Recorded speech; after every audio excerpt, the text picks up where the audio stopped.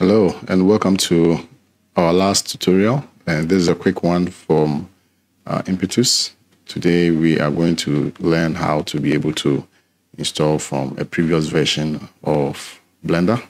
So if you're going to pull it from a much more later previous version, this is how you go about it.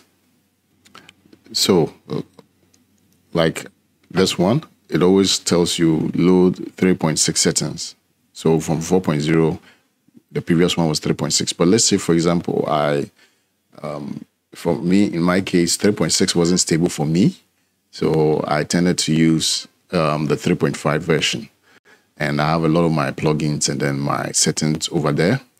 So I'm going to teach you how you can manually um, be able to pull that uh, data so that you can actually use that for your latest versions. So if maybe you were not conversant with the previous version or you were conversant with a much more later version, here's an easy way to do it.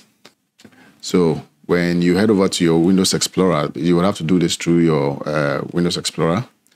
And what you do is you head over to your users data and you come to app data and on the screen you will find a shortcut to it so you can type it out and then you'll be able to um, quickly uh, move to the location but i'm going to show you the process to get there uh, right away so on the roaming you'll come to blender foundation blender now you would find all the versions that are installed on my computer so from 2.79 all the way to 4.0 so i want to pull 3.5 data so what I'll do is I'll simply copy and paste, create a copy of it.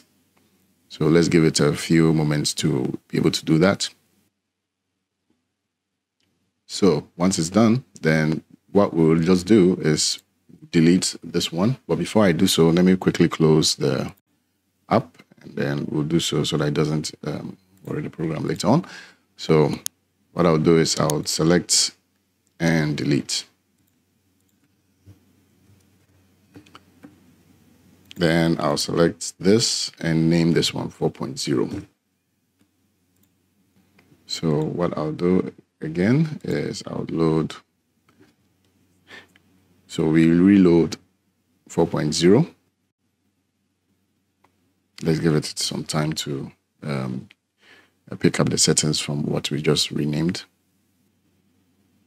Depending on the uh, size of your settings from the previous version, yeah, it will take a while to uh, quickly install all the plugins and everything that you had within that. So once it's done, the screen would open up.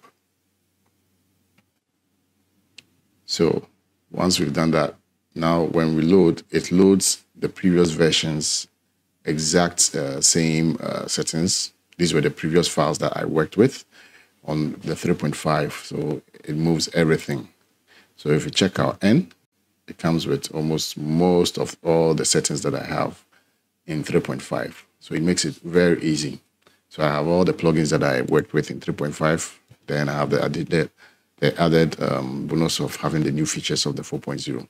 So this is a quick um, tutorial on how to move your files from a much more later previous versions onto the latest version. If the splash screen doesn't give you the option, yeah, this is how you go about it manually. So um, this is the last video. Um, please like and subscribe, like the video, and I'll catch you in 2024. Till then, have a happy new year. Bye.